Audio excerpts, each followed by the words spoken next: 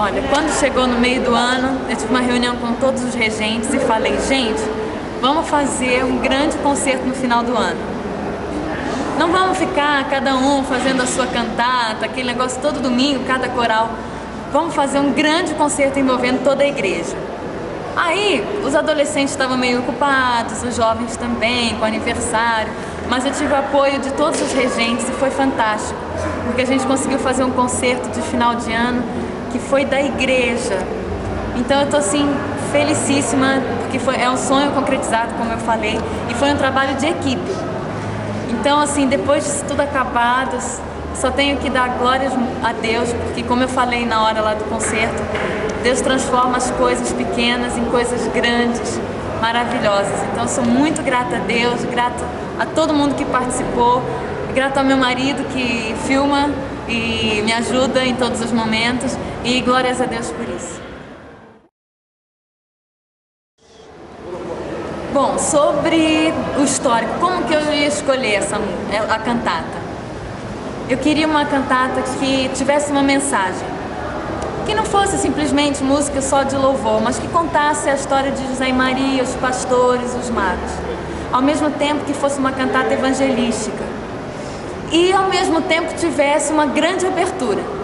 E a gente, graças a Deus, um dia eu estava numa livraria e peguei um livro e o Daniel estava em Brasília e comprou o mesmo livro. Eu falei, Daniel, é de Deus, vamos fazer essa cantata. Aí peguei mais duas, unimos as músicas e formamos esse musical presente de paz. E, e Deus foi tão maravilhoso porque a gente conseguiu pegar uma música que desse para as meninas dos pandeiros tocarem, que eu queria muito que a Michelle e o grupo dela participassem. Então elas participaram, os pandeiros, as fitas, e Deus é maravilhoso. É isso. Nada disso teria sido possível se não fosse a orquestra.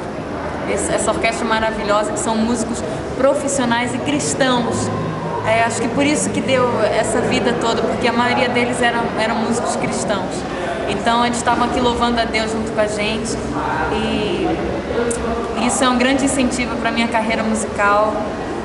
Que Deus me abençoe nessa carreira de regente, além de pianista. Fala aí, qual, qual, foi o grande lance? Pô, assim, o que eu achei assim maravilhoso, né, foi esse espaço aberto que parecia assim, né, que a galera tava aí assim no céu, assim, nas nuvens, né? E, pô, foi muito bacana estar aí reunido com todos, principalmente com nossa grande amiga Priscila, né? Que tem sido espelhos mágicos de Deus aí. Oh, amém. Deixa eu falar, então, contar como é que foi a história do palco.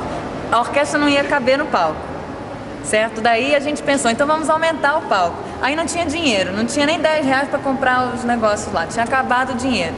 Uh, o ministério tudo no negativo. Aí a gente ia aumentar um pouquinho assim só o palco.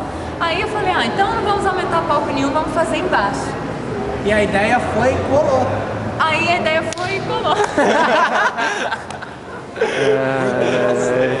é. Pô, ficou muito legal, sério mesmo. Olha, gente, ó, ó, ano que vem eu conto com a galera jovem pra fazer o Natal. Tá bom, gente, só pra não dizer que eu não saí, agora eu tô saindo e eu... faltaram jovens. Pera aí, Guia. Guia, tá? só pra dizer que eu não tô saindo na filmagem, eu quero terminar essa filmagem com ela tem que terminar, dando um beijo nessa menina. Yeah. Aê! Tem que terminar com um final feliz, né? Tchau, feliz 2008 pra vocês, que Deus abençoe a todos.